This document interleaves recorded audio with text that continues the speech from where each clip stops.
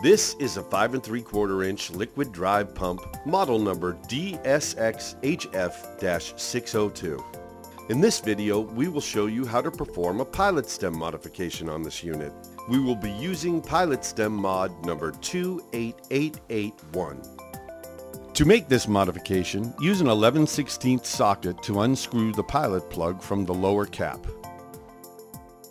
Be aware that there is a loaded spring beneath the plug as you remove it. First remove the plug and the spring. Then use needle nose pliers to extract the pilot stem. Place these items to the side and make sure they remain clean for reassembly. Next, using a 3 16 Allen key, unscrew the MPT SCKT HED screw. Now open your seal kit where you will find the new plug and the nameplate. Place your new plug on a 5 32 Allen key and apply a dot of Loctite 243 to the threads. Now screw it back into the port on the pump.